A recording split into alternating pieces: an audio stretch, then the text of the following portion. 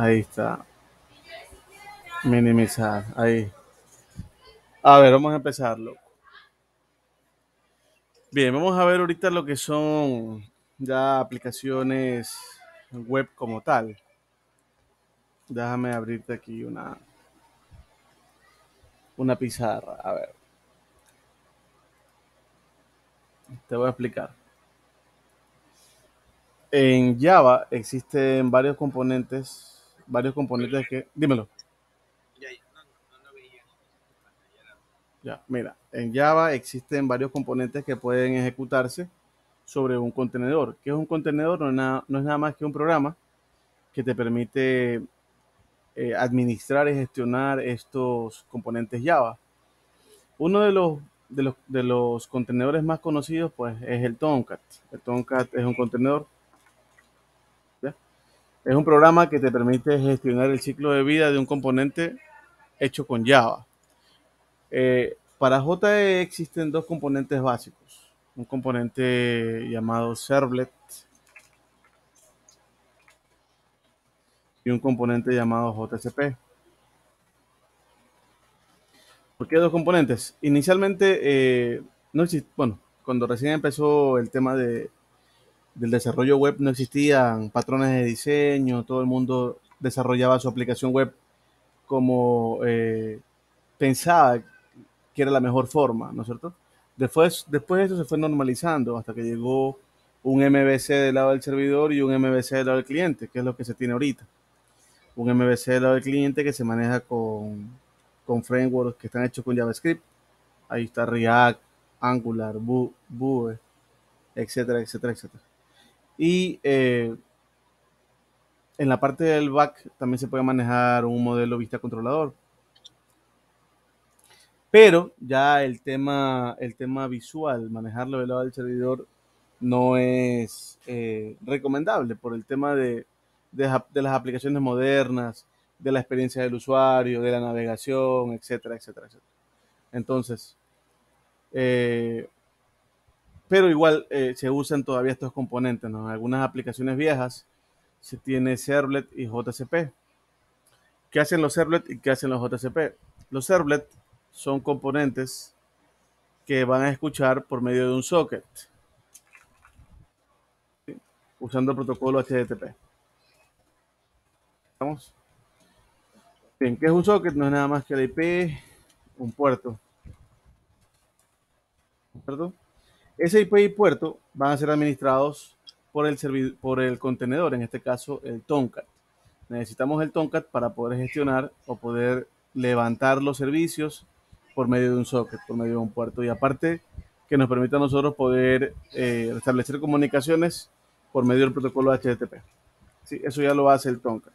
Ahora, los servlets no son nada más que clases Java, son clases Java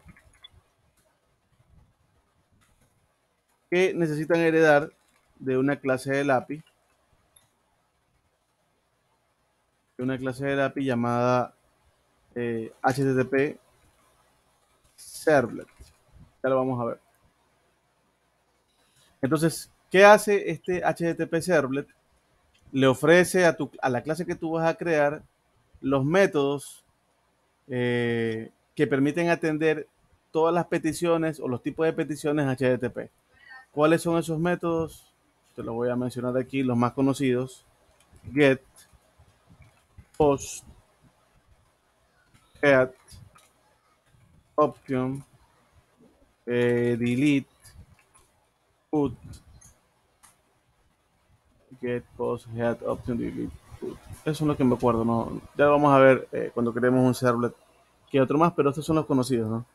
Get, post, head, option, delete, put.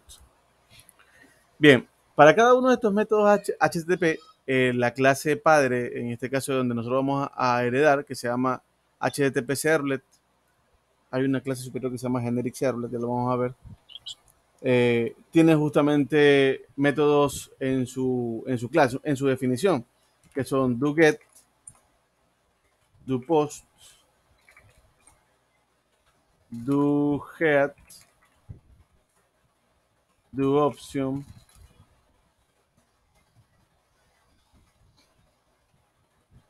do delete y do put. ¿Ya? Si tú quieres atender una petición desde el server eh, por cualquiera de estos métodos, por cualquiera de estos tipos de peticiones HTTP, tú necesitas ir implementando estos métodos que te ofrece el HTTP Servlet. ¿Estamos de acuerdo? Cuando un cliente, cuando un cliente, vamos a un cliente no es nada más que un programa, ¿no? Digamos, aquí está el, navegador. Por defecto, los navegadores van a conectarse o van a realizar peticiones a los servidores o a los contenedores usando el método GET. Cuando tú abres un navegador y pones la dirección de una página, por defecto eh, se usa el método GET. ¿Estamos?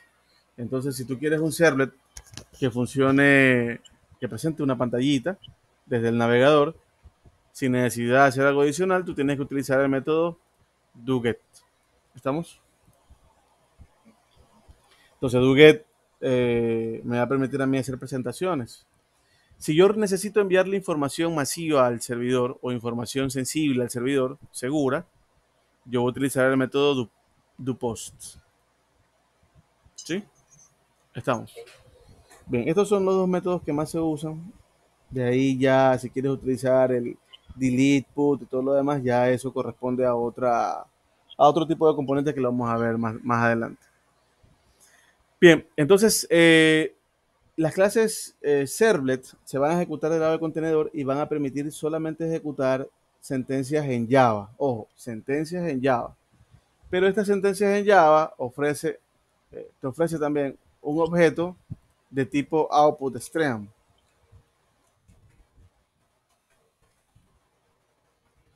Este objeto te va a permitir a ti, nos va a permitir, mejor dicho, es poder escribir tags. Bueno, realmente te permite escribir un string, ¿no? Porque es un output stream.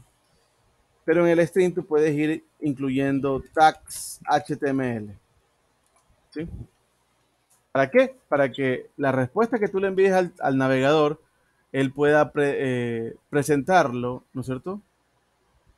De una mejor forma, con etiquetas HTML, CSS, JavaScript, etcétera, etcétera, etcétera. Pero escribir HTML del lado del servidor es muy complicado. No muy complicado, sino muy tedioso. Anteriormente algunas aplicaciones hacen eso. Las aplicaciones viejas, por ejemplo, tenían las conexiones a base de datos en, el, en un bin. Ese bin lo, lo invocaban desde un servlet y el servlet se encargaba de presentar el HTML. Pero la depuración de eso era muy complicada, muy complicada. Para poder depurar eso tenías que no sé, revisar la estructura del HTML en otro, en, un archivo de texto, luego pegarlo acá en el, en el servlet, etcétera, etcétera. Bueno, eso es complejo. Bueno, en todo caso, desde un servlet puedes generar páginas, páginas HTML dinámicas, ¿no? Ahora se hace eso con React, por ejemplo. Cuando creas un componente, tú escribes HTML usando eh, componentes de JavaScript, que finalmente React lo entiende como componentes visual, como tags HTML. Bueno, pero eso es otro, otro asunto. Bien, entonces vamos a crear un server de acá. Déjame, primero déjame configurar. Bien, en el Eclipse tú tienes una opción, una parte, una sección que te permite a ti eh, poder configurar servidores. Pues un servidor en la actualidad hay muchos servidores, vamos a ponerlo acá, eh, parecidos al Tomcat. El Tomcat solamente es un contenedor de Servlet y JCP, fue hecho específicamente para eso. Eh, pero ya existen otros como el JBoss, el Wildfly, el Open, bueno, OpenShift no lo vamos a mencionar, el Glassfish, el WebLogic, etcétera, etcétera, etcétera. En la actualidad, eh, pocas empresas se están yendo por, por tener una dependencia de este tipo de servidores. Lo que hacen ahora es utilizar el más básico que es Tomcat, ¿sí? y sobre él establecer otro tipo de componentes como componentes eh, más ligeros que permiten exponer servicios REST, no, no estos tipos de, de servicios. Espera un ratito. ¿Qué pasó? No tengo. No, tengo esto. En el carro tengo 50 centavos y completas un dólar. No tengo más. Ya. Ya. Ya. Ya, bueno, entonces este en, la, en la actualidad se utilizan utilizan el contenedor más básico y ponen componentes que no sean JE, que no necesiten tener un necesiten tanta funcionalidad en la parte de, del contenedor, sino que simplemente son componentes Java simple con anotaciones. Bueno, entonces ahora el Eclipse te permite a ti, acá, vamos a ver, te permite configurar servidores para que los, los administre, ¿no? Aquí está el Tomcat, ¿sí? Eh, por aquí también está el, el Wi-Fi, que es el que voy a configurar ahora. Wi-Fi 20. Bien, voy a hacer una configuración del Wi-Fi. Aquí necesito establecer la ruta. Yo por aquí tengo un Wi-Fi ya descargado. A ver. Acá está. Exacto, un servidor local. Así es. Ya creo que está bien. Ya, aquí está el servidor local. Eh, hay varias cosas aquí que te da el, Eclipse, como acceso al archivo de configuración. El Wi-Fi eh, tiene un archivo de configuración, así como todos los servidores, eh, que es un XML en el cual tú puedes poner aquí conexiones a base de datos, eh, Reals, configurar puertos, el puerto que está escuchando es el 8080 etcétera, etcétera, etcétera. Bien, voy a, voy a probar si funciona esto. Primero voy a ver si funciona para poner ahí un, un, un server. Déjame ver acá.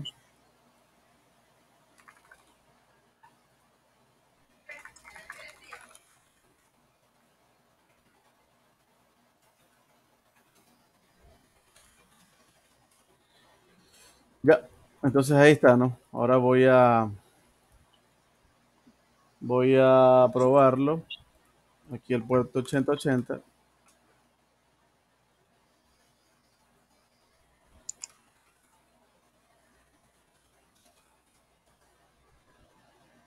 Ups. ¿En qué puerto levanto? Déjame ver.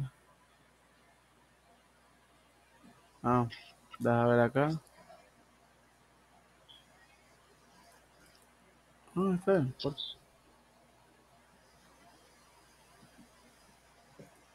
Ay, ¿Qué pasó? 127.0.0. ¿Ah, mandé? Ya, ahí está. No, no reconoce localhost. Bueno, en todo caso, ahí está levantado. Ahora eh, vamos a detenerlo y vamos a crear una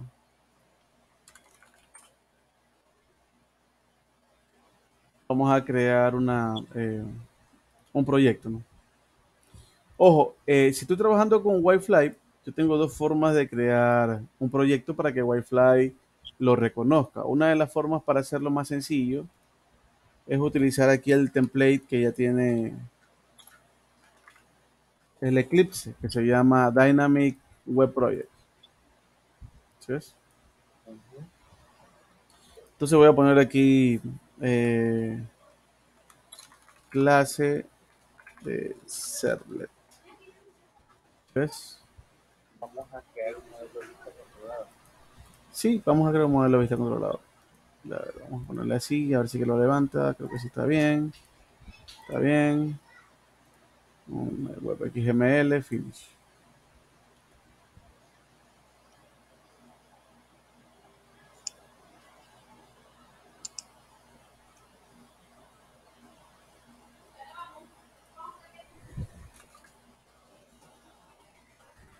¿Ya? Entonces, entonces aquí está. ¿no? Esta es una estructura básica de un proyecto para, para que sea reconocido por Wi-Fi. Eh, si tú le das, por ejemplo, que clic derecho, añadir y remover, te va a aparecer la, todos los proyectos que Wi-Fi puede desplegar. ¿Qué pasó? Chao. Dios te bendiga, mijito. Bye. Pórtate bien. Ya. Cierra la puerta y déjame la llave por ahí. Bueno, entonces este cuando tú le pones añadido o remover, el Wi-Fi te selecciona o te enlista todos los proyectos que tienen la estructura que soporta Wi-Fi. Le das finish. Y listo. Ahí está. Está, está cargado el proyecto y aquí hay dos directorios. Un directorio para los... Un directorio para las clases y un directorio para las páginas. ¿sí? Dentro de Web App vamos a poner nosotros las páginas y dentro de SRCM en Java voy a poner voy a poner este las clases, ¿no? Contacto que un man quiere entrar al curso. Déjame decirle a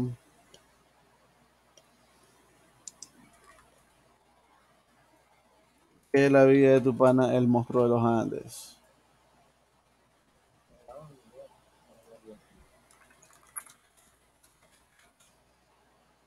Bueno, sigamos. Ahora, eh, vamos a crear no- nuestro server. ¿no? Aquí nos dan a nosotros la opción para, para crear un server. Diferencia- ¿Cuál es la diferencia entre tener una carpeta y como aquí también las carpetas, pero con la hacia arriba que tiene abajo ya WS, CSS, en Java, la estructura Java, CSS, en Java.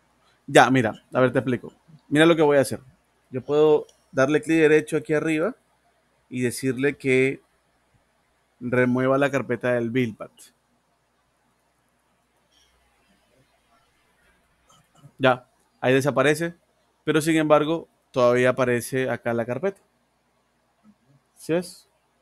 Entonces, ¿qué, qué te indica esa parte de allá arriba? Simplemente te dice que ese va a ser el lugar donde vas a poner las... donde vas a poner tus clases, nada más. Si tú creas una clase acá, no te lo va a reconocer como una estructura de, de paquetes, no, va, no vas a poder, el Eclipse no lo va a poder reconocer como que es una clase, sino que lo va a conocer como un archivo plano nada más. ¿Estamos?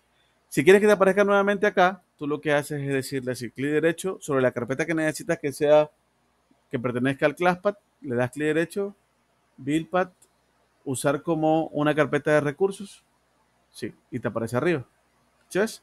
Es la misma carpeta, pero simplemente el Eclipse lo que hace es normalizarla para entenderla como el lugar donde vas a poner clases o recursos de, de tu aplicación. Recursos que van a ser compilables, ¿no?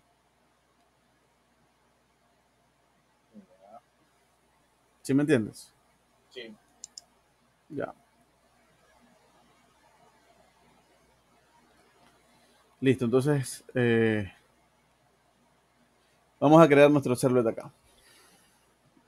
Sobre esta carpeta le voy a dar clic derecho, New, y le voy a poner acá Servlet, ¿sí? Ahí está. Él me indica cuál va a ser el paquete.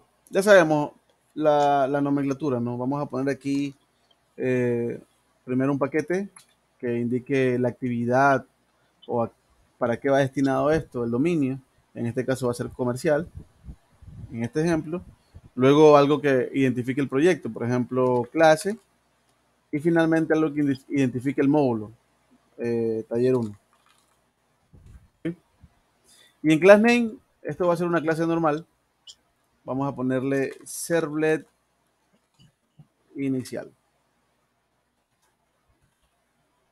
Le doy siguiente. ¿Ya? Y aquí va a aparecer, va, va a aparecer algo importante. Mira. Déjame abrir otro nuevo. No guardar. Cuando yo creo un servlet, finalmente para el contenedor esto va a ser un objeto Java. ¿Sí? Va a ser un objeto Java que va a estar ejecutándose en la memoria del servidor y el contenedor tiene referencia de este objeto. ¿Estamos? Ahora, cuando un cliente solicita una URL, acá, un cliente viene y pide una URL, el servidor toma la URL, aquí, recibe la dirección, pero el cliente no sabe si está pidiendo una página o está pidiendo una imagen o está pidiendo un servlet, ¿sí o no? Con esta dirección, el servidor debe tener aquí un mapeo, un map, una tabla, que justamente sea clave valor. ¿Sí? Clave valor como un hashmap, en la cual en la clave sea la dirección, aquí va a estar la URL, y el valor acá corresponda al objeto Java. ¿Estamos? Ya. Entonces el cliente, exacto, cada URL va a estar asociada a, una, a un objeto Java. No, no necesariamente clases. No, un objeto, exacto. El contenedor entiende de- por objetos instanciados. ¿Sí? Exacto. Estamos ahí. Sí. Bueno, entonces eso es lo que me dice aquí el Eclipse. El Eclipse me dice cuál va a ser el servlet, la URL con el que vas a mapear tu objeto. ¿Sí es? Entonces yo le voy a poner aquí, por lo general, cuando es un servlet, voy a ponerle así. Inicio.do. Ojo, la relación no necesariamente tiene que ser una a una. Una URL asociada a un servlet. Puede haber muchas URLs asociadas a un servlet. Ojo. ¿Sí? Ah. Estamos. Entonces eso es importante. Por ejemplo, si yo le pongo así, inicio.do o inicio.cls, o le pongo un patrón, por ejemplo, asterisco cls. Espérate, cls punto asterisco, por decirte algo. ¿Sí? Entonces, yo puedo establecer patrones aquí para poder decirle que cualquier URL que, que coincida con ese patrón va a pasar por el servlet. ¿Estamos? En pocas ocasiones, en pocas ocasiones pasa eso. Por ejemplo, cuando, cuando se, se establecen ese tipo de patrones en los frameworks, JCF maneja eso. Tiene un patrón de la URL y todas las URLs viajan a un solo contro- controlador, el cual hace el análisis y el ruteo hacia las diferentes páginas. ¿Sí? En este caso vamos a ponerle inicio.do. Ok. Entonces, esta, esta, este wizard me está diciendo que el servlet inicial se va a asociar a, un, a una URL llamada inicio.do. Le damos siguiente. ¿Y Mande. El servlet inicial, el que vamos a crear ahorita. Ya, vamos, ya te voy a explicar dónde haces el mapeo. Realmente, antes se lo hacía sobre el web XML. Ya en aplicaciones con módulos o con JE 6 para arriba, si mal no recuerdo, ya no es necesario establecerlo en un web XML, sino que puedes ponerlo como una anotación sobre la clase. ¿Ya? Eso te voy a, a explicar. Bien, le damos siguiente y aquí él me, ahí me muestra todos los métodos que yo puedo implementar de mi servlet. Es lo que te decía al inicio. Ya. Ahí está el método do get. Mira, aquí están los métodos. Eh, do get, do post, do head, do put, do option, do get, do delete, do trace. Vamos a ponerle solamente el método doGet, que es lo que necesitamos. Le damos Finish.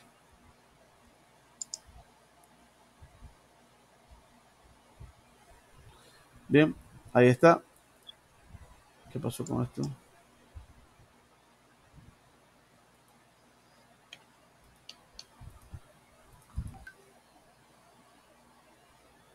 Déjame ver. Refresh. Que por eso ahí inició la confusión, porque este, tú dices tú, una URL está asociada a una, no a una clase, pero ese es una clase. Ahí aquí. Sí, es una clase, pero la, el mapeo que se hace se lo hace en tiempo de ejecución para que se eh, para que sea reconocido en tiempo de ejecución. Déjame ver que tengo mal configurado el Java.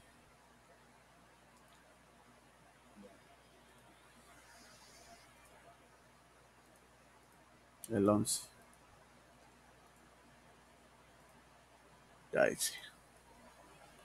Ya, gracias. Bueno. Entonces, mira, aquí está el método post. Este es un constructor. Por lo general aquí hay, hay dos fases. Mira, te voy a explicar. Hay dos, dos fases en las cuales eh, se va creando el servlet. Déjame poner nuevo. ¿Sí? Y hay dos métodos. El servlet tiene un método que es, justamente, el, es justamente el constructor. Este método constructor es el que vemos aquí. Aquí tú vas a poner la parte pesada porque solo se va a ejecutar una vez este constructor. ¿Ese constructor es un método estático? No, no es un método estático, pero el, el, el contenedor se va a encargar de, de crear estos objetos. ¿Sí? Pero lo crea una sola vez. Sí, lo crea una sola vez, así es. El resto eh, lo realiza por medio de, de hilos. Cada petición él atiende, lo atiende por medio de un hilo. Todo eso ya está, ya está manejado. Lo realiza la clase llamada HTTP Servlet. La clase HTTP Servlet, la que está aquí, si ves, la que te, te decía, todos los servlets tenían de aquí. Aquí está. ¿Sí? Esa es propia de Apache. Esta es propia de, no de Apache, sino que es propia del estándar de JE, de la clase Java Servlet, del paquete Java Servlet, perdón. Y hay otra más que se llama Generic Servlet. ¿Sabes? Bueno. ¿En qué caso usan el uno y el otro? No, tú tienes que heredar directamente de, ser, de HTTP Servlet. Si quieres crear un servlet para FTP, por ejemplo, ahí tienes que heredar de, de generic servlet, de la clase de acá, de esta. ¿Sí? Por ejemplo, si te dicen, ah, ya vamos a crear un servlet para, para el protocolo FTP. No sé en qué momento se puede hacer eso, si alguien lo haya hecho, pero te da esa clase para que tú puedas, eh, tengas la opción a poder crear un servlet para el protocolo FTP. ¿Ya estamos?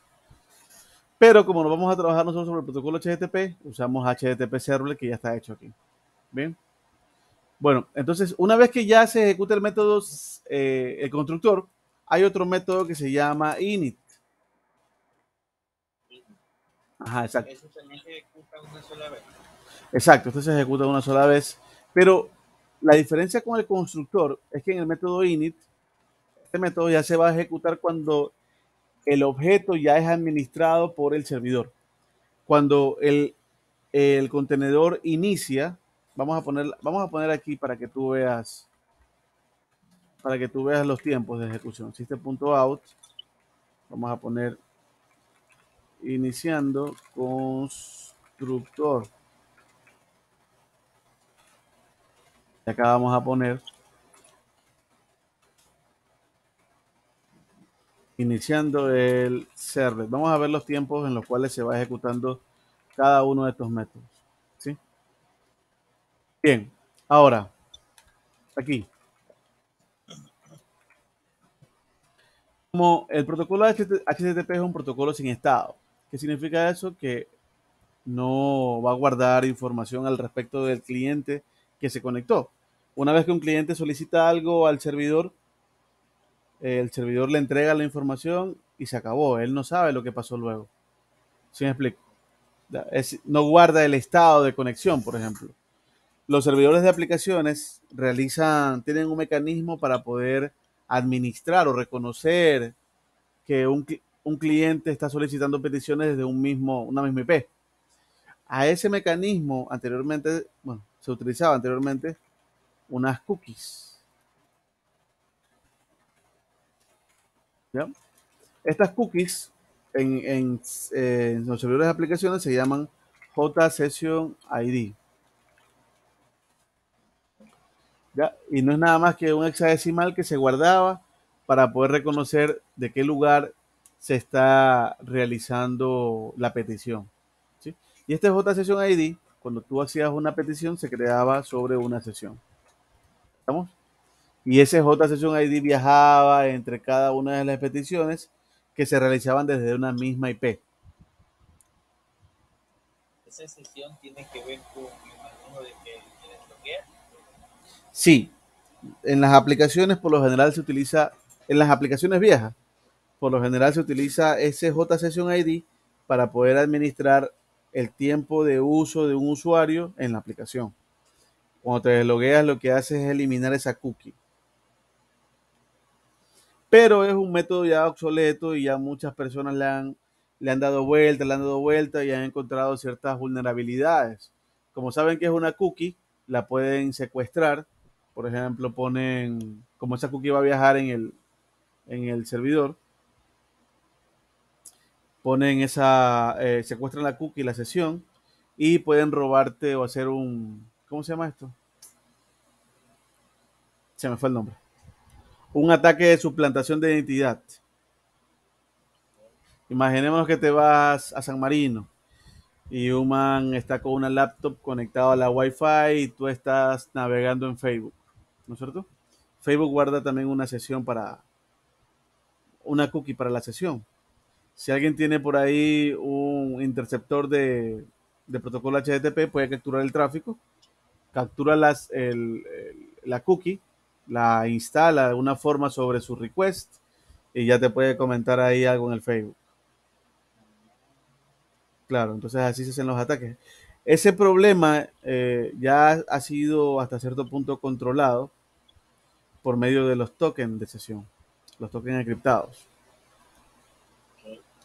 Entonces, con los tokens, eh, hasta cierto punto se, evita eso, ¿no? Ya los tokens ya requieren otro tipo de mecanismo para poder realizar la autenticación. Bueno. Eh, ¿Qué estaba diciendo? Ah, ya. Entonces, esta sesión ID se va a crear cuando un cliente, acá, un cliente, realice una petición a un servidor, ¿no? Que tenga un servidor el cliente realiza la petición, ¿sí? Y el servidor le hace un response. Cuando el cliente realiza otra petición, acá, aquí tenemos RIC, response. Y acá tenemos RIC. Entonces aquí cuando él hace la primera petición, aquí ya se crea, cuando le responde, ya le crea el JSession ID.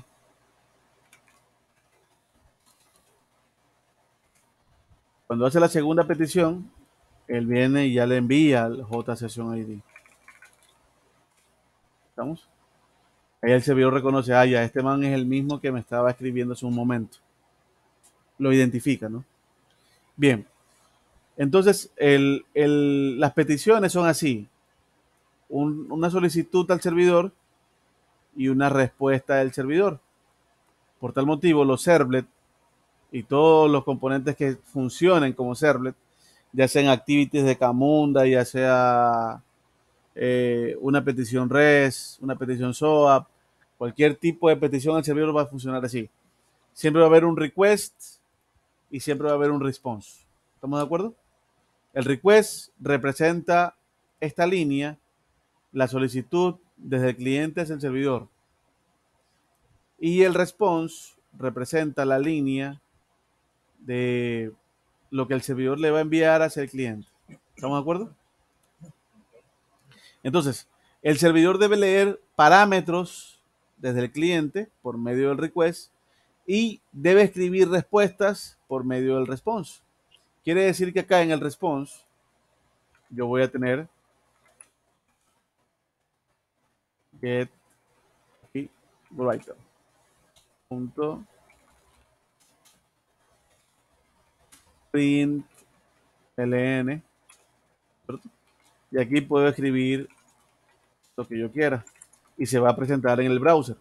Estamos si presento texto se presenta texto. Si presento tag html el browser va a interpretar ese tag html. Vamos a ponerle aquí hola mundo.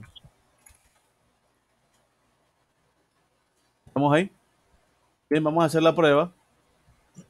Vamos a Al final, lo que viaja entre el servidor y la demanda, lo que Exacto. Lo que viaja desde el servidor hacia el cliente va a ser eh, un objeto response. En el objeto response yo puedo poner atributos, puedo guardar la sesión, puedo obtener el, el- el objeto para mostrar la salida de HTML. Ojo, la salida de HTML, est- esto que se va a mostrar aquí, siempre va a ser texto. ¿Estamos? Un texto plano. Porque el navegador, ya sea que utilices, eh, ya sea que utilices .NET, React, Angular, Ionic, cualquier framework que te ocurra, PHP, el navegador siempre va a interpretar HTML, JavaScript y CSS. Nada más. ¿Estamos de acuerdo? El navegador está hecho para eso. De ahí los frameworks que manejan tipos de datos, eh, eh, tipo de datos eh, medios compuestos, complejos, eso no importa. Finalmente, todo se va a mostrar como un texto, es un string. Estamos. Bien, entonces pongo esta parte de aquí. Pongo esto. Bien.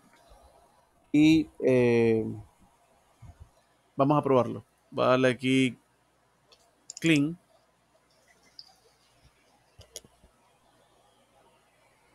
Le doy start y veamos qué pasa.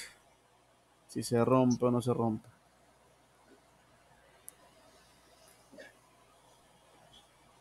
Ya. Si te das cuenta, aquí no hay. Busquemos la, el- el- lo que pusimos aquí.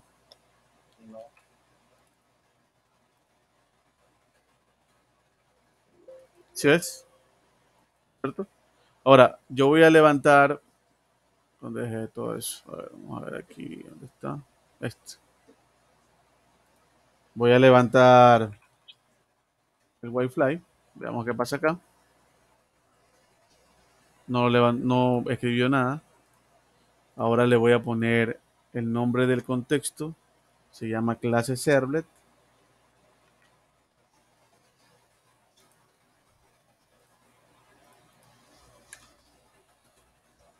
Ya, veamos acá. No se ejecutó nada. Y vamos a ponerle el path de mi servlet. Inicio.do.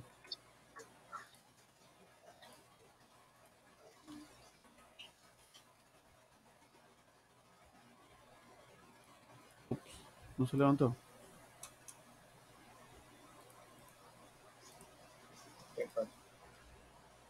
Sí se deployó. Lo tengo acá levantado. Veamos cómo se deployó acá.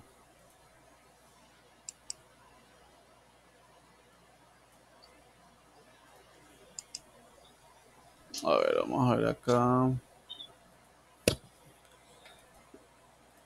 Vamos a ver cómo se deployó esto. Está bien.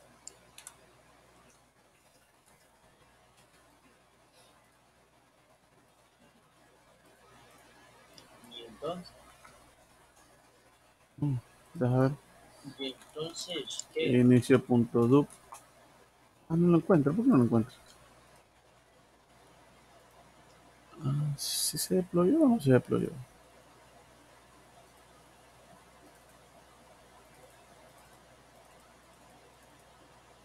Ah, mira, no se deployó. Sí es. Espérate. Parece que es un problema del... Vamos a detener un ratito.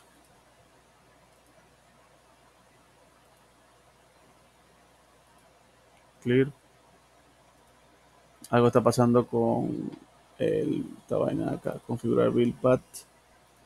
Bueno, a veces pasan estos problemas cuando no tienes bien configurado el Eclipse. Aquí es 11. Ahí está. Aplicar. Era esto.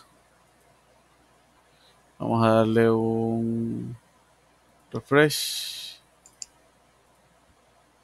Ya, vamos a darle acá un clean.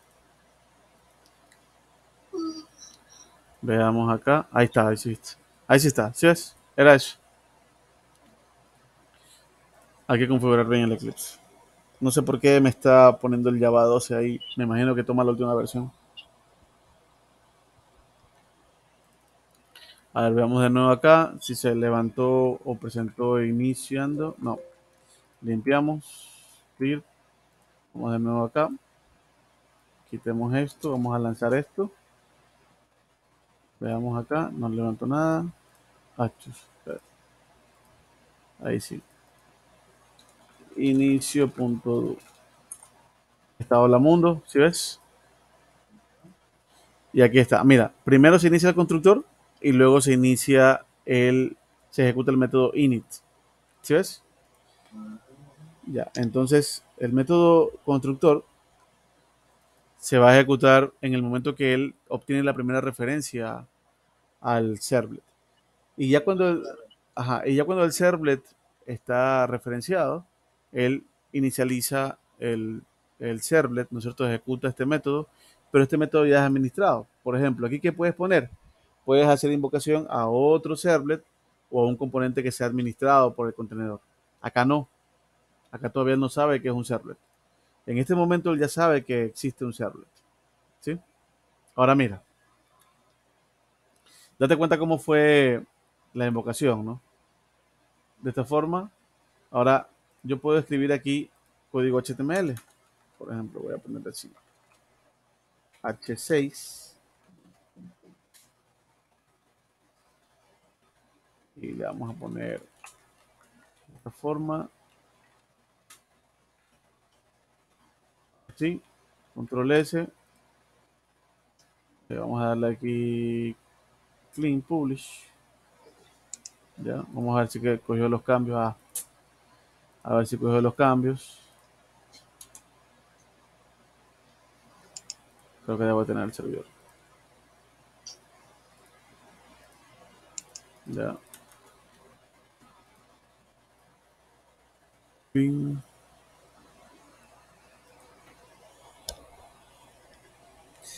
Ese, ese es uno de los problemas que hay con, con eh, ubicar o colocar código que se va a presentar en el, en el, en el browser en el servidor de aplicaciones, porque tienes que estar bajando y subiendo el servidor para poder revisar los cambios. Ahí está, ¿no? ¿Sí ves? ¿Por qué no lo reconoció? ¿Por qué no lo reconoció? Ahí se lo reconoció.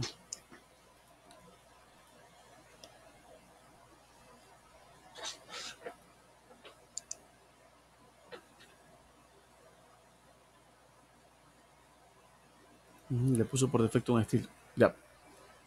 Por ejemplo, vamos a copiar, vamos a copiar esto. Editar HTML. Ah. Select, select. Ah. Body, body, body, HTML.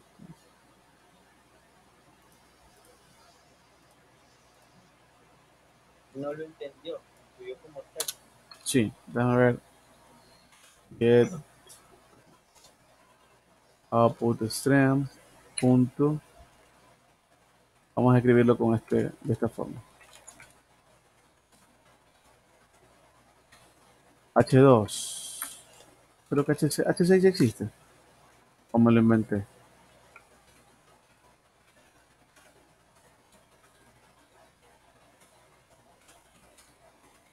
Hola mundo. Vamos a hacer la pruebita con eso.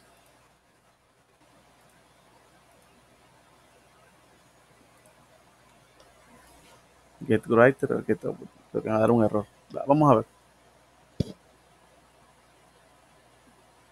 A ver, de nuevo acá. No, no lo reconoce. Es el navegador. Vamos a ponerlo acá en el otro navegador. Como que lo preformatea el man. Sí que es. Es el la configuración que tengo del, del Google Chrome. Como aquí trabajo con React, ya tiene preformateado algún, algún, ¿cómo se llama esto? Algún estilo. Si ves que acá me sale diferente. Ah, acá sí lo, lo tiene. Déjame ver acá si le pongo, por ejemplo, así. Tip style igual. Mira cómo es complicado escribir aquí código JavaScript, eh, código Java. Uf. Ahí es, ahí está bien. Ya. Style, color, dos puntos. Red. Ahí está bien.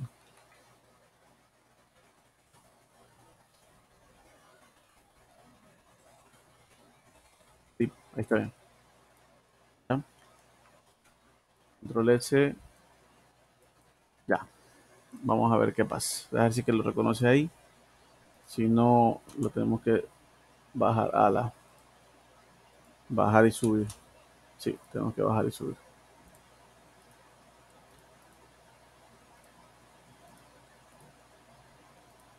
Clean.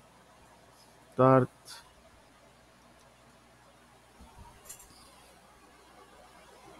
O sea, ahí si tuvieras tú, eh, eh, bueno, se me olvidó. Si tú pudieras escribir toda la página, lo que sería más complejo ahí. Claro, mira cómo tengo que escribir el código fuente del, ¿Cómo se del. entonces de este controlador? Ya vamos a ver cómo hacemos eso. Primero déjame ejecutar esto, a ver si cogió el estilo.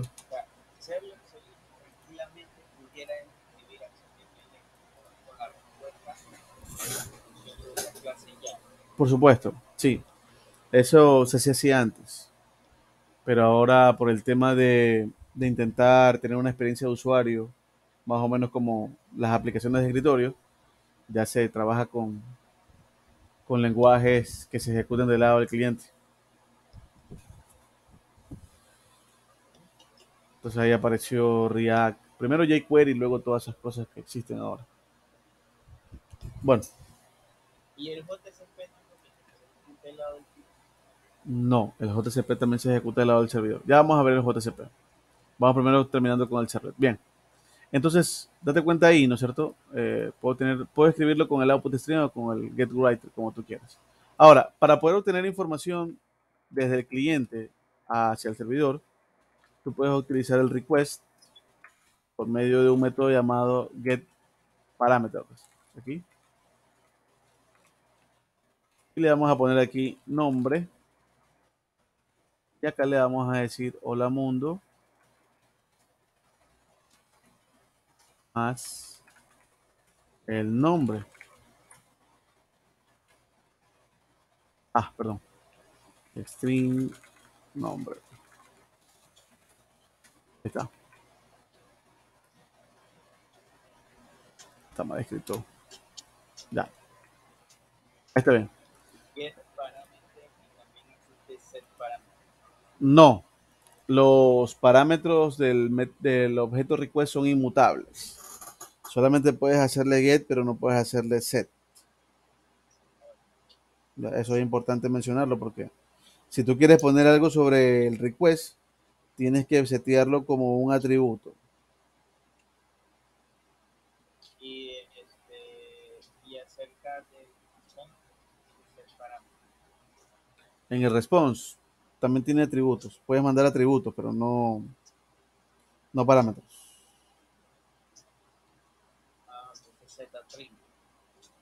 Claro, por supuesto. Ya, bien, entonces eh, hago esto, vamos a ver qué pasa. Ahora déjame hacerle un clean a esto de acá. Le doy start.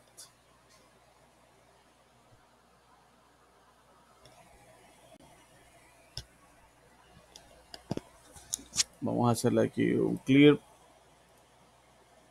Ah, Vamos a ejecutar esto. Nos aparece nulo. Porque no estoy enviando ningún, parámetro. Entonces le voy a poner aquí el parámetro que yo necesito con el signo de interrogación igual y le pongo Byron. Ahí está, ¿no? ¿Ves? Entonces de esta forma yo le paso parámetros a... ahí una pregunta, Deme. una pregunta Ujú. sobre el manejo de las sesiones de producto, el código que está encaminado. La nota es que esta aplicación está pide por el confort del banco y del backend, y perdón, del como que no banco. ¿Ya? Resulta que el por minuto tiene como 1000 a 1300 llamadas hacia esa app. Entonces, este, la idea es mejorar esa información que se consume de ese servicio web del core, digamos, que está pesado. ¿ya? Y hay una partecita en donde trae información de usuarios, también tiene que ver con el manejo de la sesión. Entonces, cada vez que un usuario se loguea, parece que él guarda esa sesión, se pide sesión, no sé cómo lo harán. Están hablando de de session, ¿ya? Y al final, pues, lo que ocurre, eh, él está cada vez que hace una sesión, va a iniciar una sesión, existe borra, actualiza, pero ese ID es único cada vez que se loguea un usuario, si vuelve a cerrar, se crea un nuevo, Sí, cada vez que creas una sesión, se crea uno nuevo. y si nunca cierra la sesión y se, y se queda como activo, pero no puede hacer. ¿Cómo si nunca se... ¿Cómo controla ese, esa sesión? Ay, no entendí muy bien. Ya, se supone que la- el escenario sería, el usuario entra, se loguea, y ya tiene la sesión. Y yo me olvido después de 5 minutos, esa sesión sigue ahí abierta. o no. Sí, depende, mira, tú puedes configurar eso acá en el WebXML. ¿Dónde está eso? Vamos a ver acá, Web Apps. Aquí tú le puedes poner cuál es el timeout de sesión. A ver, creo que acá, así que me sale.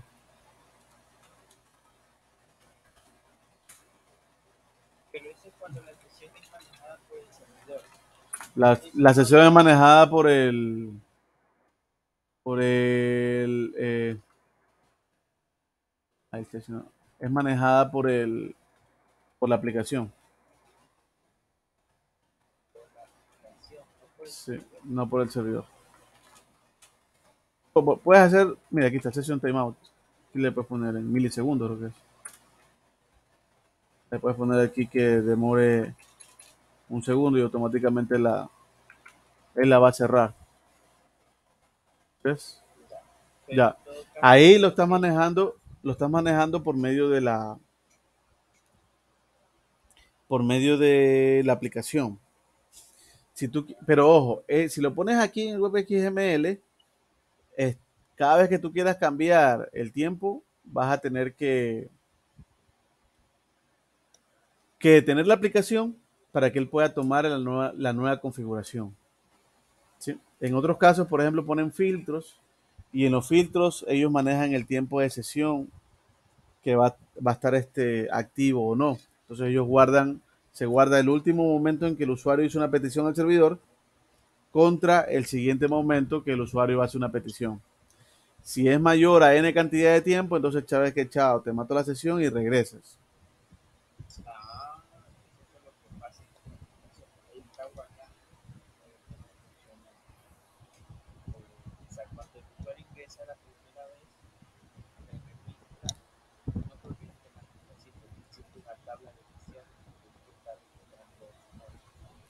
Si hay una tabla de sesiones, él registra entonces la sesión y me imagino que también registra el último momento de la actividad de la sesión.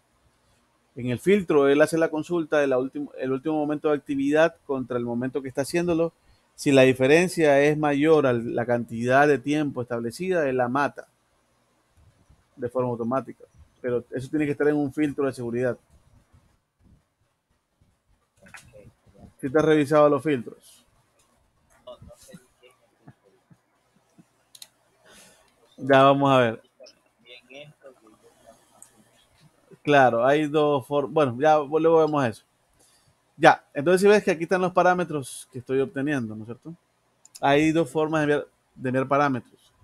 Enviar parámetros por la URL o puedes enviar parámetros por el, el body. ¿Estamos? Entonces vamos a ver, ya vimos ahorita, puedo enviar aquí varios parámetros, pero deben coincidir con el nombre que yo estoy al momento de hacerle un get, ¿no? Si yo le hago get parámetro del nombre. Ah, se cerró, lo cerré.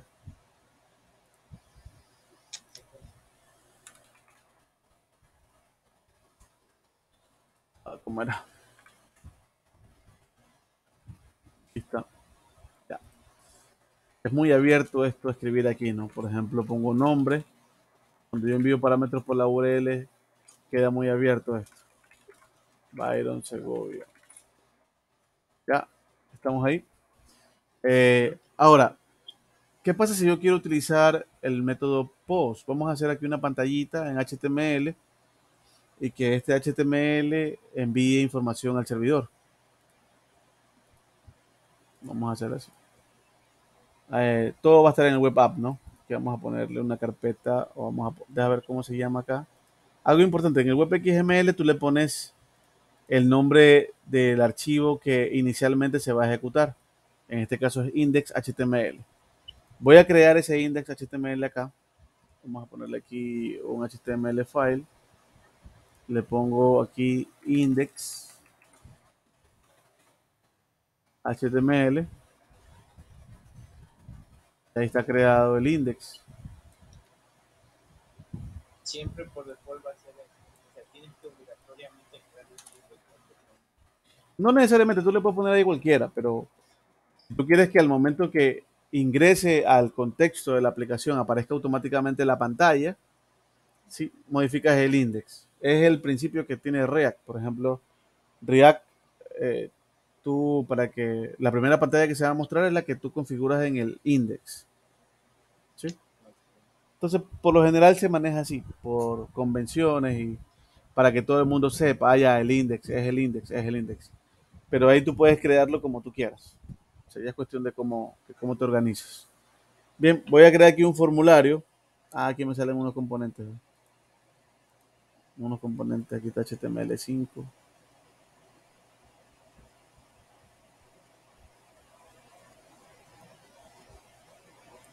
Ve, ya lo pone aquí.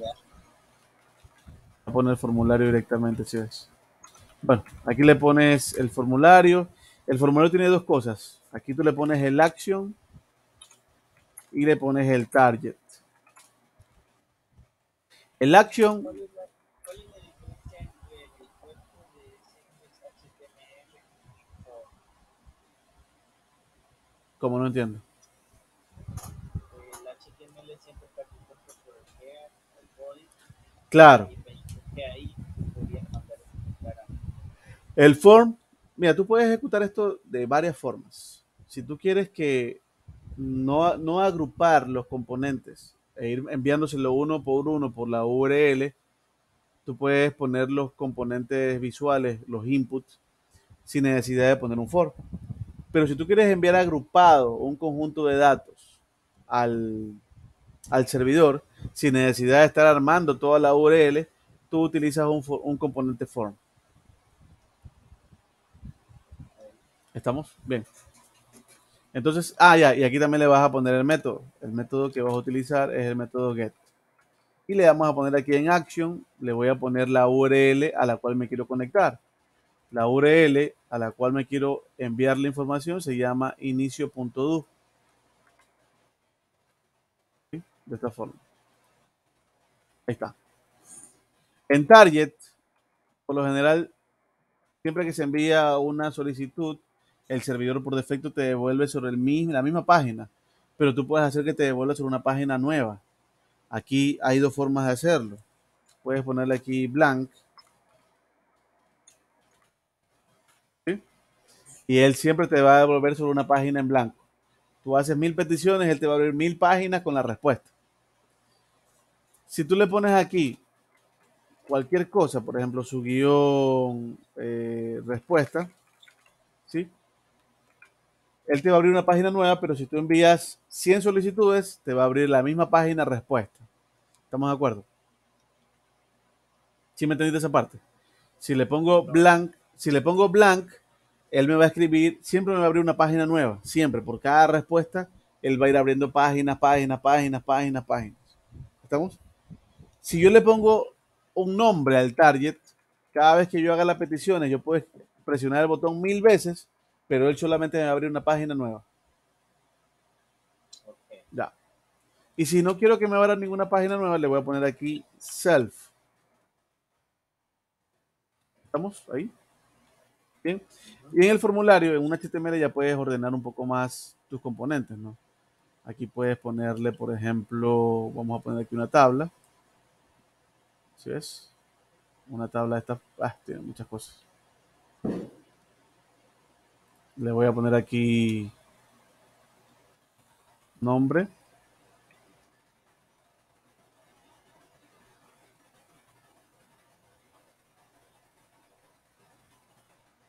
A ver, este es un TR, un TGA, T-Body.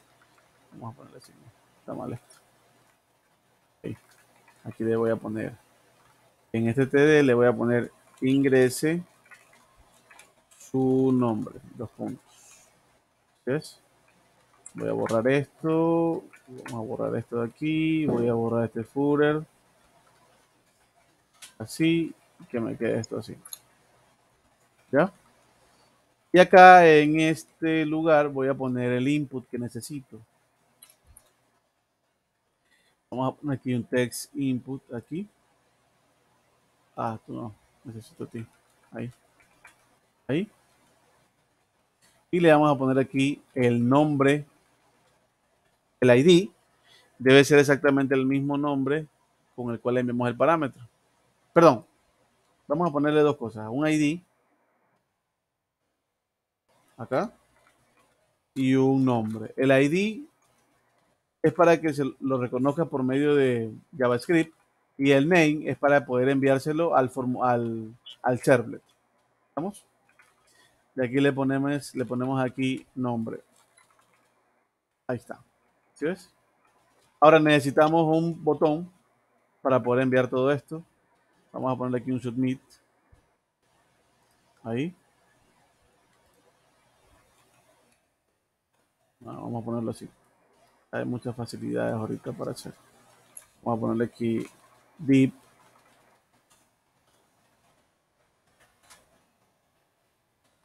Lo acá. Ah. Control X. Control V. Le ponemos aquí un estilo que sería Allen Content Center.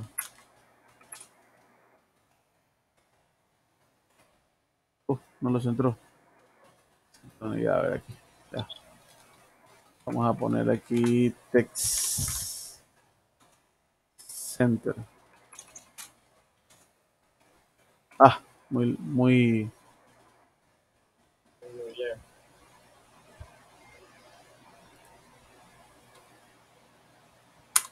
Poner aquí style. Eh, Text align. No lo centro este man. Cuando eso pase, como estamos haciendo un HTML, vamos a poner así. Ya esto no se debe usar, pero vamos a ver si funciona.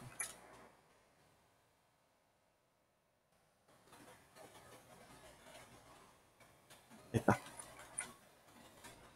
Dice que esto no, ya no existe este center.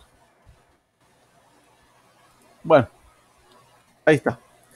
Y el submit lo que hace es eh, enviar la información aquí en este formulario, lo que está acá. ¿no? Ya no tengo que poner ningún tipo de, de JavaScript para que funcione. A ver, vamos a poner esto. Le damos Start.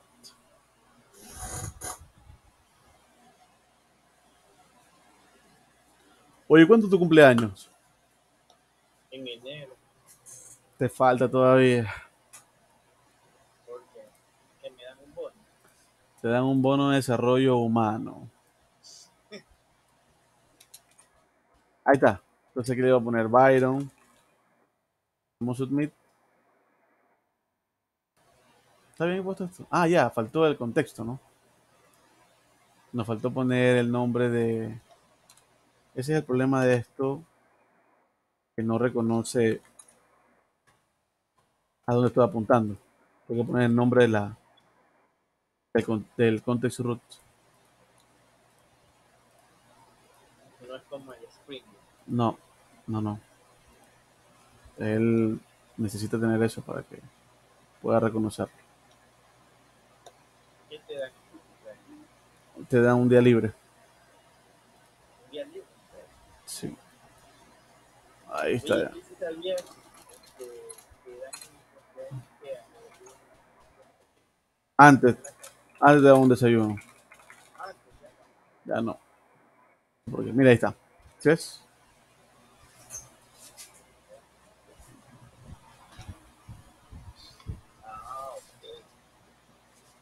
Sí. Ya creamos un formulario y podemos poner, seguir, seguir poniéndole parámetros ahí. Y en el servlet podemos este es esta de línea, ¿cierto? Podríamos presentar una página. Ahora, si no quiero, si yo solamente quiero establecer aquí un mensaje y ese mensaje enviárselo a, a una página, también puedo hacerlo. ¿Sí? Hola, hola, ¿sí me escuchas? Sí, sí, pero estaba preguntando algo. No, no te escuché. Te decía que la página que te presenta al inicio del texto es la de automáticamente. Sí, Y luego cuando pones el submit, él va a buscar el server, que y él, te responde. claro, te responde lo del servlet. Ah. Sí. ¿Sí es? Entonces, por ejemplo, yo podría hacer que el servlet me haga una redirección, que no presente esto, sino que él me presente una página de bienvenida, por ejemplo. Claro, eh, o sea que mande el otro a otra página. Sí. Por ejemplo, vamos a crear aquí, vamos a hacerlo con HTML. HTML file. Le vamos a poner aquí respuesta. Next. Finish. Y ahí está.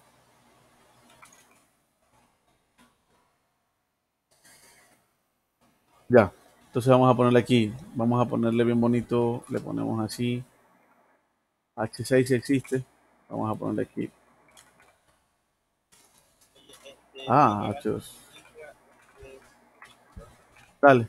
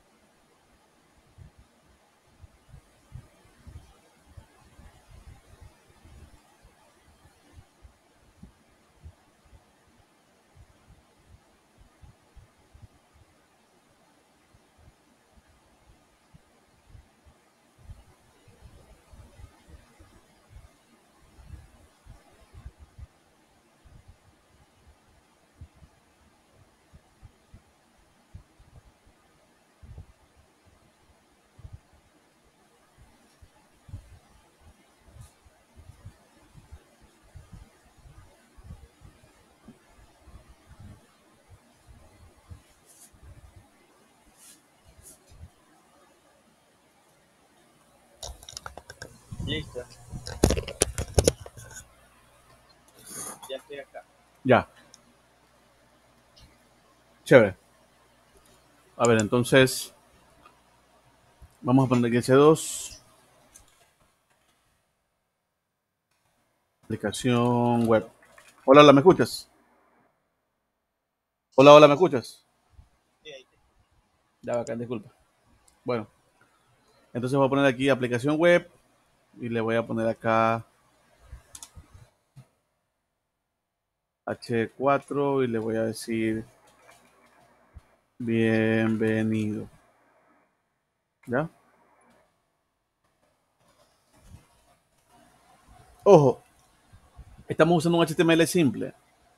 Podría pasarle un parámetro desde el servidor hacia este HTML, pero para poder obtenerlo necesito utilizar JavaScript y esas cosas. Ahorita no nos metamos con eso, ¿ya? Solo vamos a hacerlo así, porque todavía no hemos visto eh, JCP. Bien. Sí, esta página justamente la que ves, ¿sí, sí la estás viendo? Sí. Ya.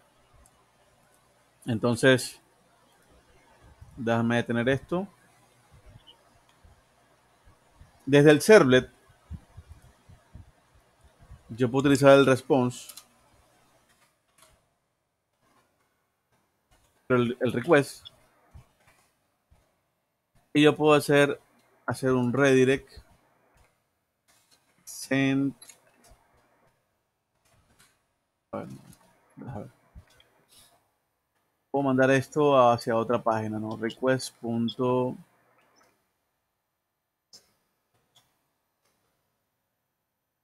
A ver,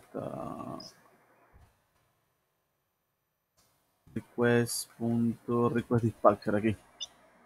Y aquí en request dispatcher yo puedo enviar hacia otra URL, hacia otra página. Y voy a ponerle aquí la página que yo quiero mostrar.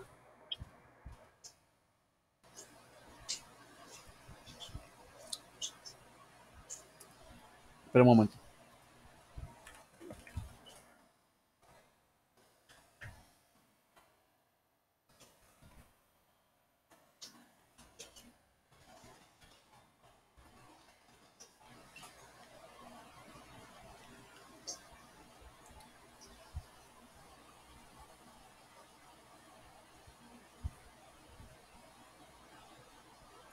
Ya. A ver, entonces aquí le voy a poner la página que yo necesito, ¿no? Yo necesito enviar la página que se llama respuesta. Vamos a copiarla tal cual como está aquí, porque si no, Tienes que ponerle el contexto y el nombre de la página. ya vamos a ver así. Primero, probémoslo así. Ya, y le vamos a poner aquí. Esto devuelve un request dispatcher. ¿Qué pasó? Ah, no sé. Ya voy a ver. Bueno. Request.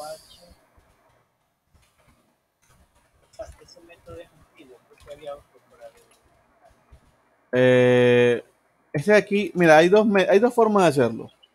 Hay un send, un send redirect que se hace una redirección, hace un nuevo request, y hay un request dispatcher que envía con el mismo request. Eso es importante.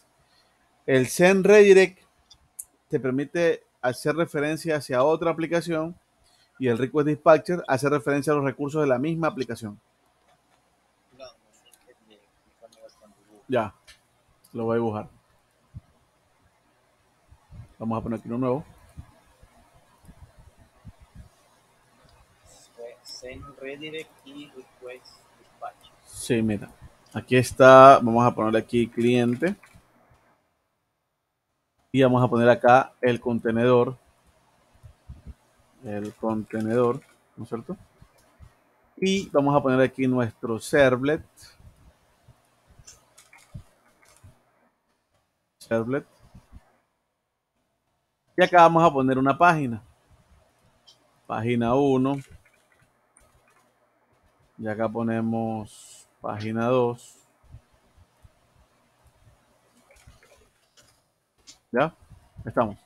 Entonces, el request dispatcher, ¿qué hace? El cliente le envía un request al servlet. El servlet dice, sabes que yo no te puedo atender tu, tu, requerimiento, no te puedo dar una respuesta a tu requerimiento. Entonces el servlet lo que hace es gestiona y envía la, la misma solicitud, la envía a otro recurso de mi contenedor para que él sea quien le responda. ¿Me entiendes? Eso hace el request eh, dispatcher. Él lo que hace es simplemente delegar el trabajo de la respuesta hacia otro recurso. ¿Estamos? Pero se mantiene la misma respuesta. Es como que yo te envío un correo a ti y tú le hagas forward a otra persona para que la otra persona lo atienda. ¿Me entiendes? Bien. Ahora, hay otra forma de hacerlo utilizando el redirect. Bien, ¿qué hace el redirect? Asimismo, el cliente recibe, recibe un, una solicitud, pero el servlet ya no va a enviar la misma solicitud, sino que el servlet arma otro, otra solicitud interna, ¿sí? Y la envía a otro componente. Pero la diferencia, acá vamos a ponerle servlet 2. La diferencia es que aquí va el request 1 con todos sus parámetros. Cuando él hace un request dispatcher, ese mismo request 1 llega acá. Es el mismo request con el request dispatcher. Con el... Me, exacto, así es. Con el otro, con el redirect, cuando te llega el request 1 aquí, el servlet hace un redirect y él crea un request 2. ¿Cómo hace ese pase de información de una parte? Ahí tienes que ver qué le vas a enviar aquí, desde aquí a acá. Tienes que crearte los atributos y tú le envías acá para que él pueda entenderlo. O sea, haces una parte del trabajo, le haces un send redirect al otro servlet y este hace otra parte del trabajo con nuevos datos. Es, como asignarle lo, lo, que tiene el objeto después a otro después. Exacto, así es. Puedes agregarle más cosas. ¿no? ¿Sí? ¿Estamos ahí? Ya. Entonces, por eso, si tú necesitas que lo... Depende de lo que vayas a hacer. Si vas a hacer un flujo, un flujo de, de un wizard, por ejemplo, y necesitas que todos los parámetros desde cómo nacieron del cliente viajen, tú utilizas el forward. ¿Estamos? Haces una parte y la respuesta pues se la entregas al final. Ahora con el send redirect también podrías hacer lo mismo, pero es un poco más complejo estar armando requests de forma innecesaria. Ahí, por ejemplo, si manejas token, deberías nuevamente enviarle el token, validar el token, etcétera, etcétera, etcétera. Acá no, porque es el mismo request con todo, tal como está. No manejas el, eh, tokens entre recursos que están internos en el servidor.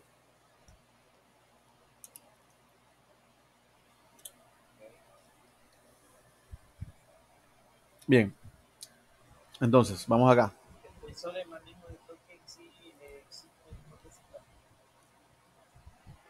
Eh, Eh, se lo puede implementar con JCP.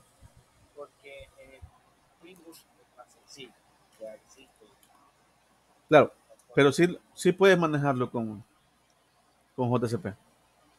Eh, tú puedes utilizar solamente los componentes de Spring Security y los tokens, los tokens van a viajar en el en el head del request y puedes validarlo.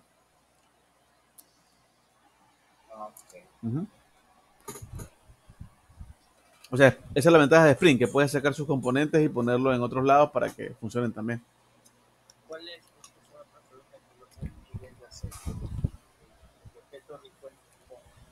¿Cuál es su estructura?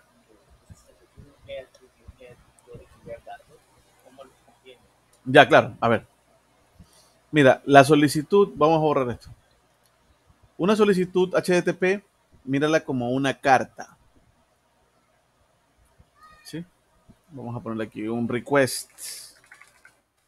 HTTP es como una carta, ¿no? ¿Qué tiene la carta? La carta tiene una sección, una sección para el head.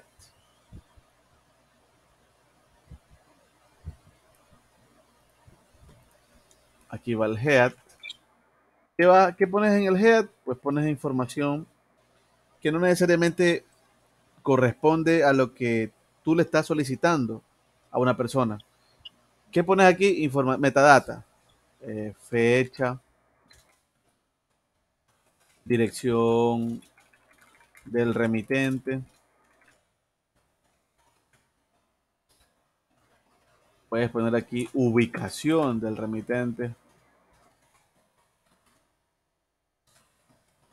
Etcétera, etcétera, etcétera. ¿Sí? Puedes poner número de cédula. Correo electrónico. ¿No es cierto? A esto se lo conoce como head. El, la solicitud HTTP. ¿no? Y acá, a esto se lo conoce como body. Aquí en el body va la parte importante que te interesa. Por ejemplo, por ejemplo, dame un minuto ya.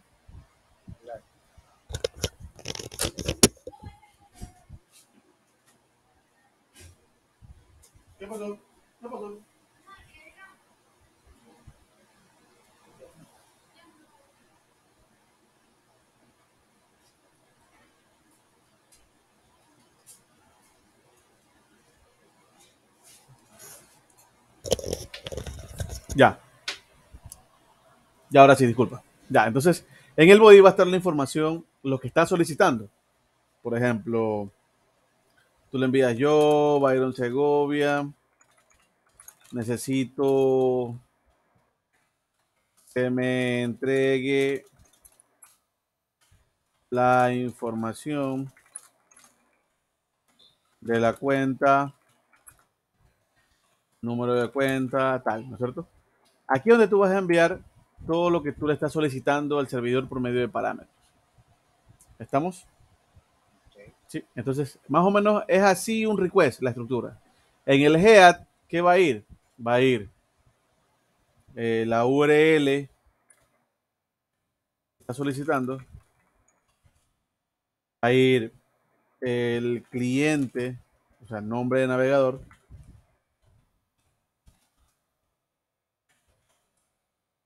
Puede viajar aquí el token, puede viajar el J Session ID.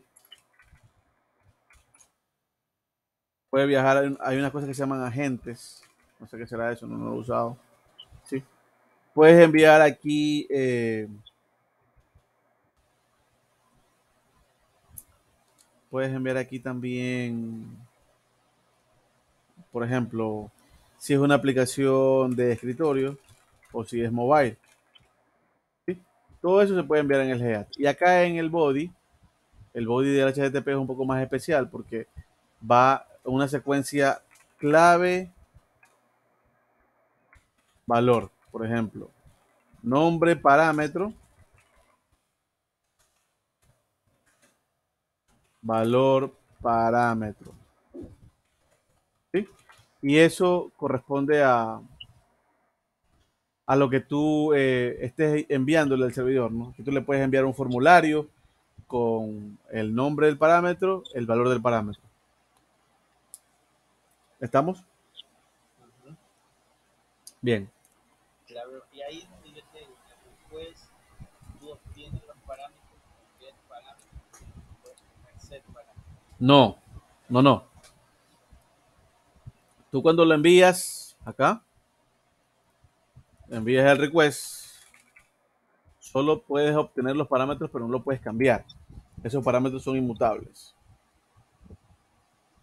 ¿Con qué valor? Get. Con get parámetro, exacto.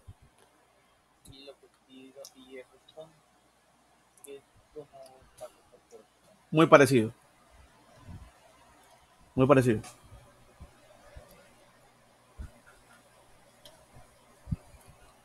Y ahí en el response, este, como tú también le mandas parámetros. por ejemplo, Tú puedes mandarle, claro, tú me le mandas clave, valor, o le puedes mandar todo, todo un string completo de los parámetros por medio de un JSON, por ejemplo. Entonces tú puedes, realmente lo que te responde, la respuesta de un, del servidor, el response, acá, es toda una cadena de string. Esa cadena puede llevar código HTML, puede llevar un JSON o puede llevar un XML. Tú decides ahí qué, qué le vas a responder a tu, a tu cliente, ¿no es cierto? Si tú respondes JSON, respondes XML, respondes HTML, o puede ser simplemente un texto plano. ¿sí? Me responde. Y Ajá. se le envía normalmente en JSON. Cuando es web service, cuando es web service le mandas un JSON. Cuando es web service REST. Cuando es web service SOAP, él escribe un XML. Cuando son servlet, él envía un HTML. Claro, y en el HTML, pues, esto lo envía en el body, pero también hay un head, donde va a viajar la información de la misma información que me envió el cliente, más la sesión ID y esas cosas. ¿Y cómo desarman esa respuesta? Era lo que tú estabas escribiendo ahorita, el código HTML en el, en el server. Exacto, así es. Pero eso no es. No, anteriormente se hace así, anteriormente, ojo. Y ahorita ya no se lo hace así. Ahorita lo que te hacen es devolverte una página, que te responde una página, un JCP, o simplemente te devuelve datos y que tú pintes ahí con el, con el React los datos que te devuelve el servidor. Por ejemplo, si tú vas, consultas, le das la cuenta, te examen, ¿cuánto le? Él te envía un JSON ahí, un, un texto. Tú cuando le envías, espera, por ejemplo, si estás trabajando con JCP, el servlet recibe la información y finalmente te responde por medio de una página JCP. ¿Ya? En la página JCP tú puedes recibir la respuesta y puedes obtener los atributos de la sesión o del, del, del response. También puedes meterle atributos. Por ejemplo, mira. Aquí, en la respuesta, yo puedo tener get session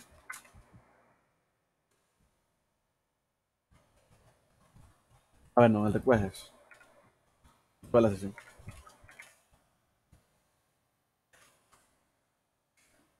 Get session y aquí yo puedo poner atributos. Set attribute. Y aquí le envío cuenta. Y acá le envío cualquier cosa más. Ese valor que estoy poniéndolo ahí, yo lo puedo obtener desde un JCP y pintarlo. Estamos ahí. En el request tú estás poniendo get session, punto, set attribute, ¿cuántos valores. Puedes poner uno. Es una clave de valor, recuerda siempre. Pero la diferencia es que aquí ya puedo enviar un objeto. Por ejemplo, puedo enviar aquí new date. Claro. Cuando ya llegas a la página, por medio de, de un objeto llamado request también, en la página, le haces el get session.getAttribute y ahí lo obtienes. Tienes que hacer los casos. Exacto, le haces un cast porque el man te devuelve object. Le haces un cast a lo que tú necesites y lo pintas.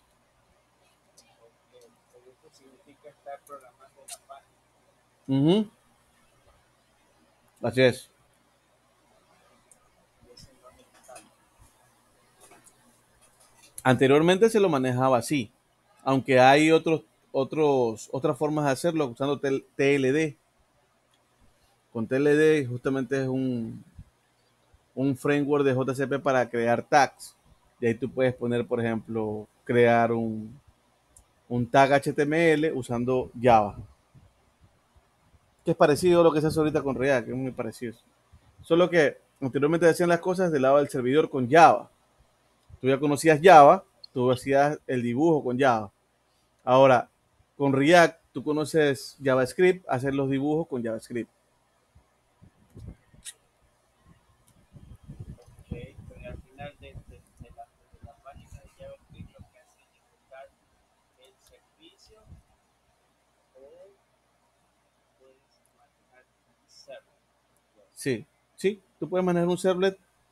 y el servlet te devuelve, no sé, te devuelve ahí un JSON, tú obtienes esa información y la presentas. Y lo puedes parciar. Exacto. Ah, ok. Ya, estamos ahí. Pregunta. No, hasta ahí pues, eh, eh, estamos bien. Ya.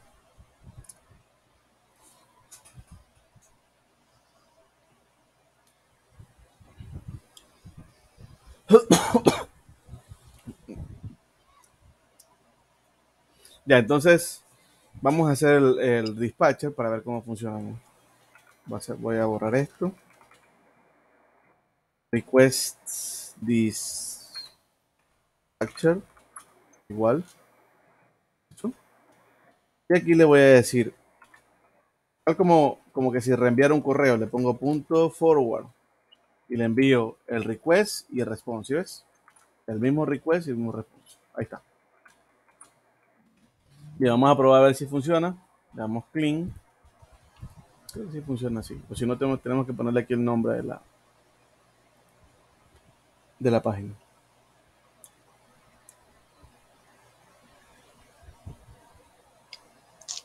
Ya, vamos a ver acá. Sí. Le damos, le ponemos el nombre, Byron. Submit. Ahí está. ¿Y si viste? Algo importante que, que hay que mencionar. Cuando tú haces el dispatcher de esta forma, si te das cuenta, estoy llamando a otro recurso, pero el cliente no se da cuenta que está llamando a otro recurso. ¿Sí ves? No estoy cambiando de URL. Eso es muy importante. Es más o menos como que tengas tú un jefe, está gerencia y están los empleados. A gerencia no le importa quién hace el trabajo. A gerencia simplemente sabe a quién le dice que haga el trabajo, pero no sabe quién lo terminó haciendo. Es exactamente lo mismo acá. Detrás de esta invocación, detrás de esta invocación de inicio.do de aquí, puede haber otro servlet que haga un forward o otro servlet que haga otro forward, así, hasta llegar al final. Estamos, puede tener aquí todo un flujo, pero sin embargo el cliente solo se entera quién inició el flujo. No sabe quién terminó el flujo. Pero eso es porque maneja server o porque todo No, esto es porque estoy utilizando eh, el objeto o estoy redirigiendo el request hacia otros recursos. Ya, No importa si uso servlet, no importa si uso Camunda, activities de Camunda, también pasa, pasa igual. Hay un, hay un y un request ahí. ¿Ya? Y ahora mira con el redirect. Este es con el dispatcher. Ahora vamos a hacerlo con el redirect. Vamos a ponerle así. Eh, Creo que el redirect está en el response. Punto send redirect aquí. Y aquí hay que ponerle, aquí sí hay que ponerle toda la ruta, como está acá. Vamos a ver, creo que tengo que ponerle hasta el, puerto. Vamos a ponerle así. Respuesta HTML, a ver si que funciona. Cuando hago esto, date cuenta que lo que pasa en el, en el browser. Ojalá que funcione así. Si no le ponemos el, toda la URL completa. Pero ahí se va a no a no te crea otro grupo. Sí, pero sí muestra la página. La página como es una página sencilla. Este la vamos, Sin tu nombre, va ahí. sí, va a ir sin el nombre nada más. Ahí. Vamos a ver acá.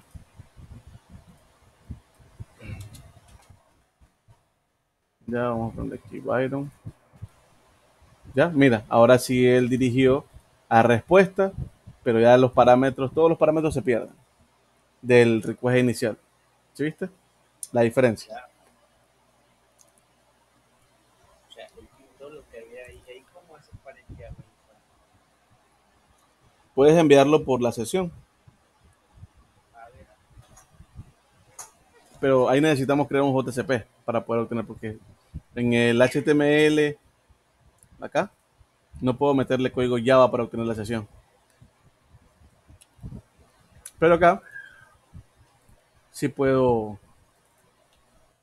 Pero ahí cuando le hacíamos request de tu página, dentro de la página, te mandaba la página. Puedo enviarle, por ejemplo, aquí en el header, puedo enviarle información. Puedo enviarle aquí eh,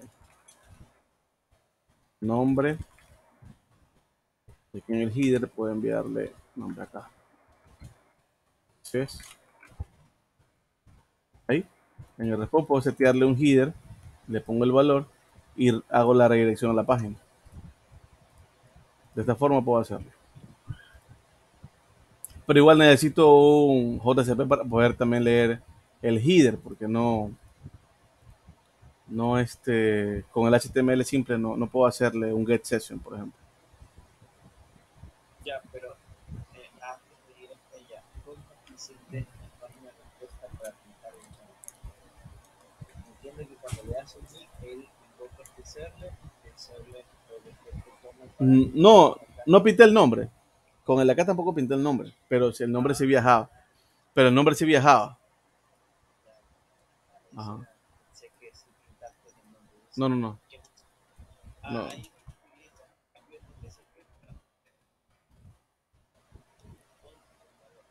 Exacto, sí eso. Déjame ver si que funciona aquí. Así que puedo ver aquí en network. Déjame ver si que sale. Ya. Ahí está.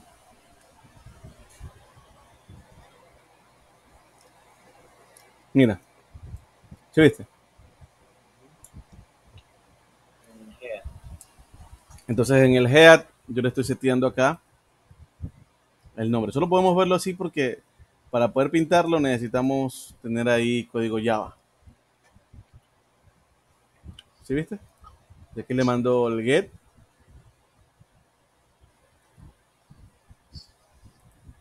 Ahí.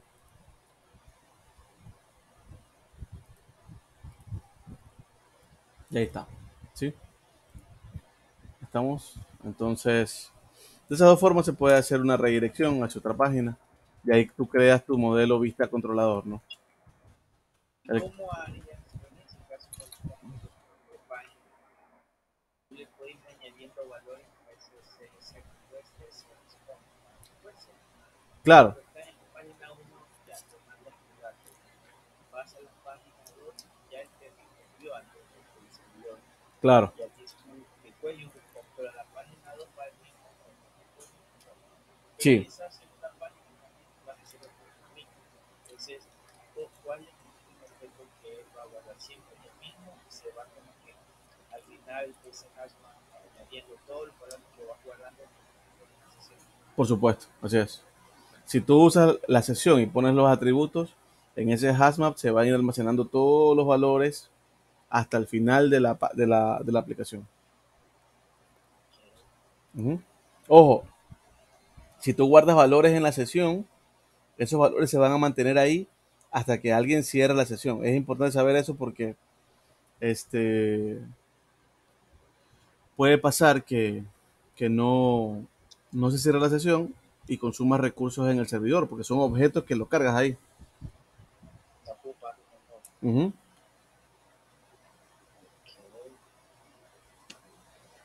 Y en este caso, en esta vaina ¿cómo, cómo tú recomiendas la sesión? Porque esa práctica que guarda, y fíjate que maneja una tabla cada vez por cada usuario, La tabla de sesión llega hasta 40.000 registros, 50.000 registros, es una. Y esa tabla es bastante pesada, 50.000. Claro. ¿Cómo manejarías tú ahí para hacer Porque se demora esa consulta como 5 segundos. Pero es para consultar si la sesión está, vi- está, está viva. En el primer login, claro, si cuando te logueas, él viene, va y hace ese guardado, y luego entra y consulta cada vez que va a cambiarse. opción, se podría decir. ¿sí? ¿Ya? Tienes la opción de, de transferencia, la opción de pago,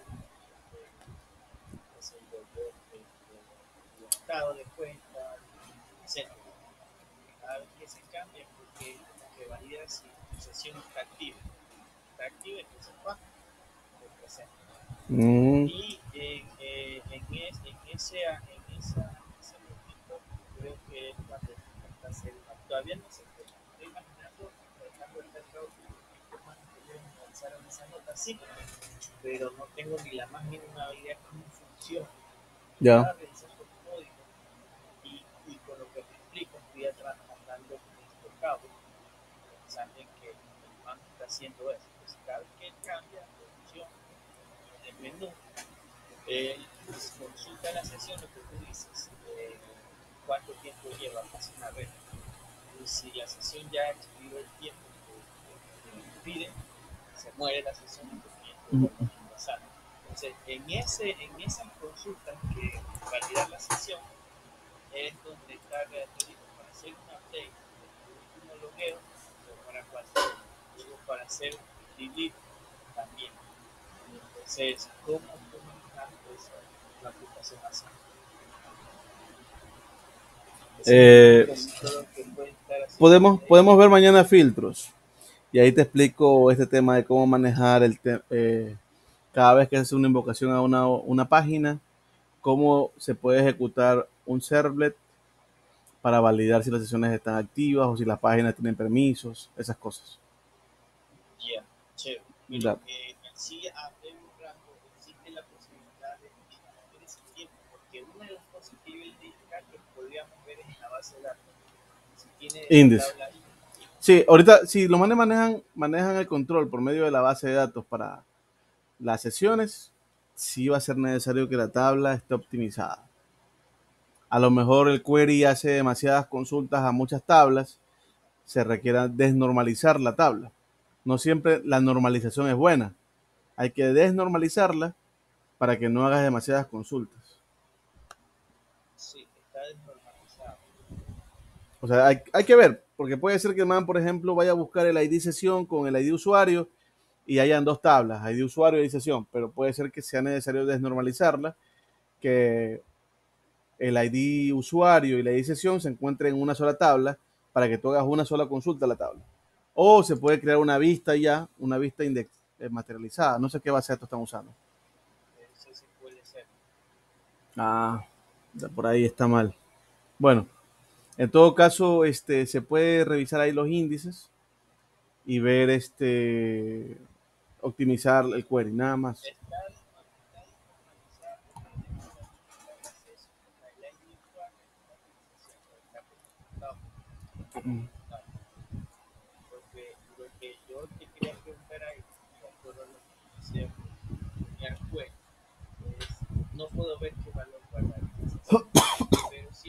Es, este, el, el ID session, solo ponerle en el Google, session, pero veo que la consulta le pone el estado, entonces ahí es lo que yo te decía, de lo que acabas de explicar, como que él manda la nueva sesión a buscar la anterior estaba activa y ver si el tiempo ha expirado. Mm, claro. O sea, sí hay, hay que revisar primero la base de datos. La base de datos hay que ver si el query está optimizado, cuánto tiempo se demora, si se va por índices. Eso. Es lo primerito. Y luego hay que ver cuántas invocaciones a la base de datos se hacen, porque puede ser que necesites una caché, por ejemplo. Hay un hay un framework que se llama eCaché. Caché, Sí, es una librería, digámoslo así.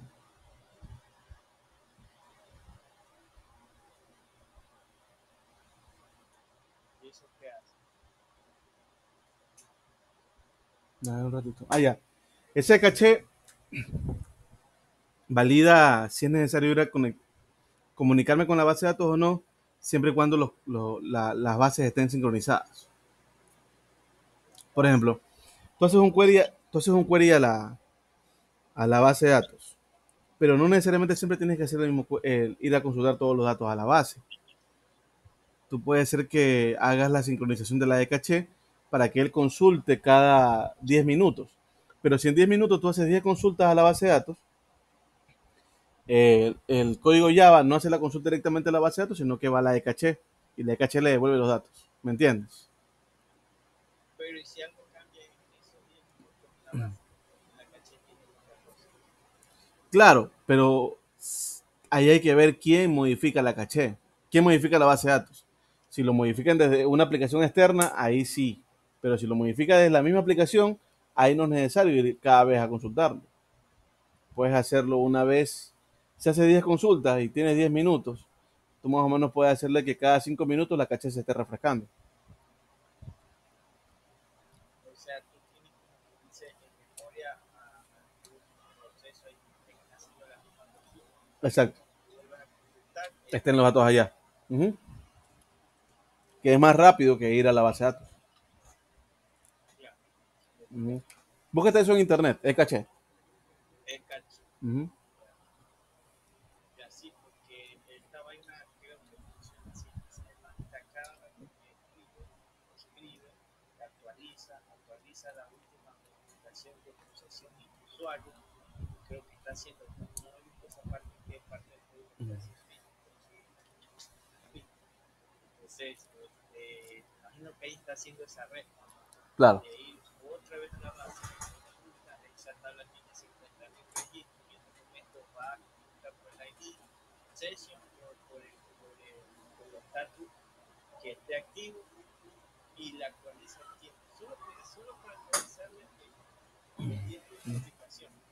¿Ya? Y, y, y eso, ¿en qué caso se actualiza? Cuando,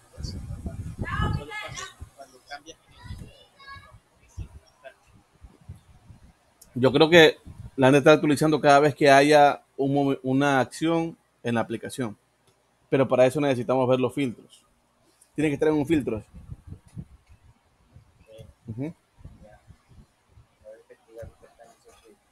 Entonces, este, al final, si usan ese caché, se usaría ahí. Exacto, así es. La consulta que haga la base de datos. Y ese caché no es lo mismo como manejar Redis, una base de datos misma.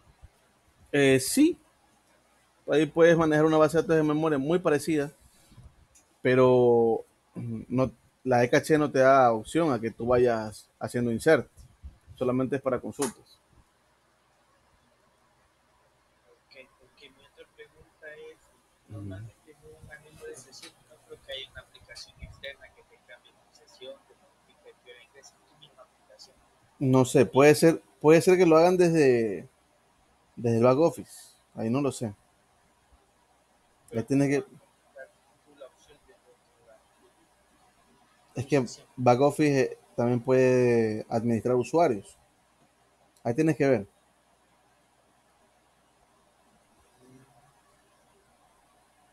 Y ya, continuemos. Ya, pues, nos quedamos hasta aquí, loco.